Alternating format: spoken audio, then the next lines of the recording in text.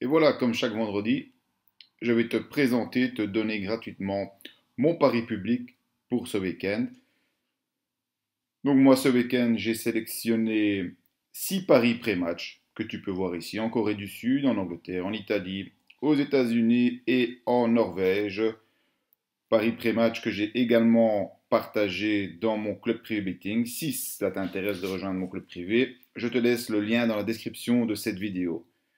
Mais en plus de ces six paris, eh bien, j'ai sélectionné un pari public supplémentaire pour toi.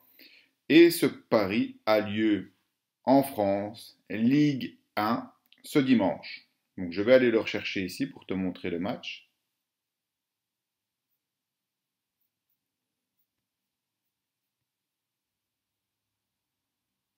Voici. Donc France, Ligue 1. Le match, c'est Brest contre Angers, si je prononce bien. Sinon, tu me le mets en commentaire si je le prononce mal. Brest-Angers, le match a lieu dimanche à 15h. Alors d'abord, au niveau du classement, comment ça se passe? Brest à domicile, eh bien, après 4 journées, c'est seulement 2 petits points et 0 victoire. Donc, début de saison compliqué pour Brest. Du côté de Angers, c'est bien mieux, puisque tu le vois ici, sur 4 matchs, eh bien, c'est 10 points. Et en fait, 3 victoires, un match nul, 0 défaite, donc invaincu en ce début de championnat. Donc, si je compare le début de saison des deux équipes, c'est clairement du côté de Angers. Au niveau des confrontations directes, donc confrontation directe, je sélectionne évidemment Brest à domicile et Angers à l'extérieur. Alors il y a un historique, mais attention, il est pertinent seulement depuis que ces deux équipes sont en Ligue 1, puisque les confrontations d'avant sont en Ligue 2. Donc, seulement deux lignes, hein, deux matchs à domicile pour Brest. Donc, pas grand-chose à dire. On voit juste que, voilà, on a une victoire d'Angers et un match nul. Mais trop peu pour tirer des conclusions là-dessus.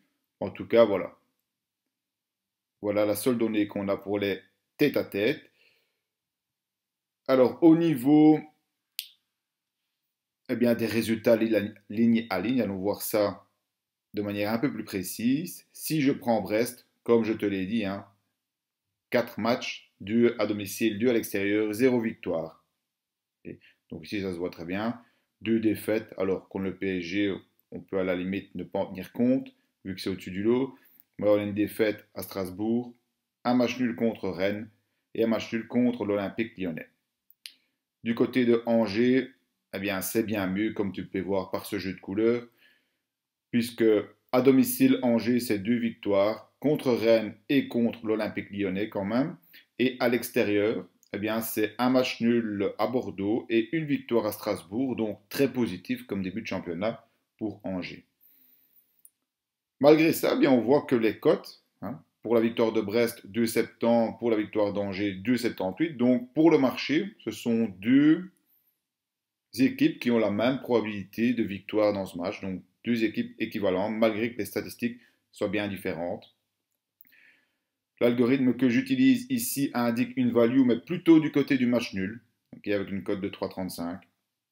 Okay, donc ça à retenir pour le pari que je vais te dire de placer. Value plutôt du côté du match nul. Au niveau des codes, justement. Là, je vais sur Odds Portal. Brest. Alors, tu l'as compris, hein, euh, au niveau du pari que je vais conseiller pour ce match, ce sera du côté d'Angers, mais non pas la victoire sèche 2, mais plutôt, non pas non plus en drone mais plutôt en double chance. Si tu regardes la double chance, du côté d'Angers, donc ce sera match nul ou victoire d'Angers, X2, la double chance en moyenne est à 1,49 sur lesbookmakers.com. Sur euh, le betting exchange OrbitX ou Betfair, le marché n'est pas encore ouvert, mais crois-moi, quand il ouvrira, il sera aux alentours des 1,54. Alors pourquoi le double chance hein? Comme je te l'ai montré, la value est plutôt du côté du match nul, donc une double chance. Je répartis plus ma mise entre le match nul et la victoire à l'extérieur. En plus, 1,54, certains peuvent parfois dire c'est une cote faible, mais attention, On est sur un double chance, donc c'est incomparable avec les marchés classiques, avec une seule chance, je veux dire. Ici, si c'est match nul ou si c'est victoire d'Angers, la cote est payée. Donc il faut accepter de diminuer la cote que l'on exige. 1,54, je trouve ça très bon pour un double chance au vu des statistiques que, que je t'ai montrées. Et donc je répète pour le match de dimanche, Brest contre Angers, double chance X2, c'est-à-dire match nul ou Angers, à 1,54. Au niveau de la mise, il est sécurisé 2% maximum, c'est toujours le maximum, ça peut être en dessous, mais maximum 2% de ta bankroll sur le X2, double chance, match nul, Angers. Donc, seulement si Brest gagne ce match, la mise sera perdue. Dans les deux autres cas, la cote sera gagnée. Donc voilà, dis-moi ce que toi tu penses de ce pari. Est-ce que tu es d'accord ou pas? N'hésite pas à laisser un commentaire en dessous de cette vidéo. Si tu aimes, si tu es pour ce pari, laisse un like. Si tu es contre, laisse un dislike.